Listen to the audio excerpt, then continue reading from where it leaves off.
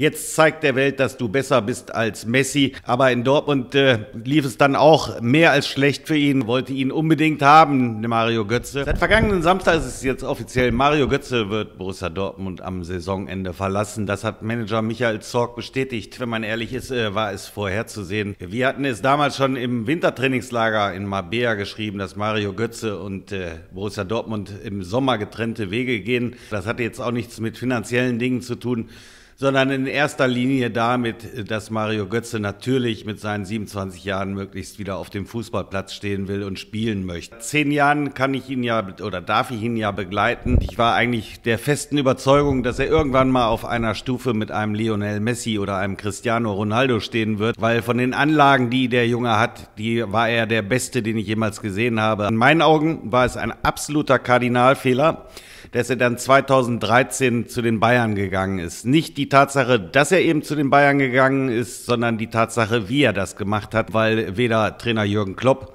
noch die Manager äh, Michael Zorg oder Boss Hans-Joachim Watzke wussten von diesem Transfer. Der war heimlich eingefädelt worden. Und das große Pech für Götze war dann eben auch, dass dieses ein Tag vor dem Halbfinalspiel von Borussia Dortmund in der Champions League gegen Real Madrid bekannt geworden ist.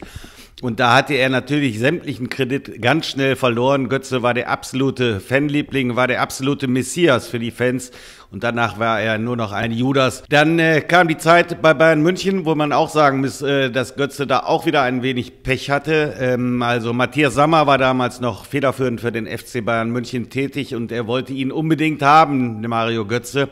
Was äh, Götz aber nicht wusste, bei Pep Guardiola war nicht unbedingt die erste Wahl.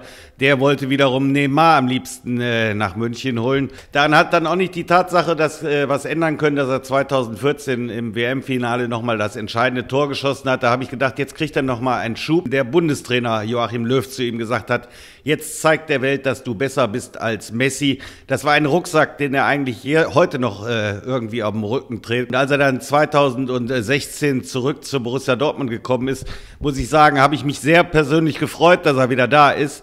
Aber in Dortmund äh, lief es dann auch mehr als schlecht für ihn. Erst diese heimtückische Stoffwechselkrankheit, wo alle gesagt haben, guck mal, der Götze hat aber ganz schön zugelegt. Im Endeffekt äh, kann es dann auch kein Zufall sein, dass er weder unter Peter Stöger noch unter Peter Bosch oder eben unter Trainer Lucien Fabre oder Thomas Tuchel einen Stammplatz hatte.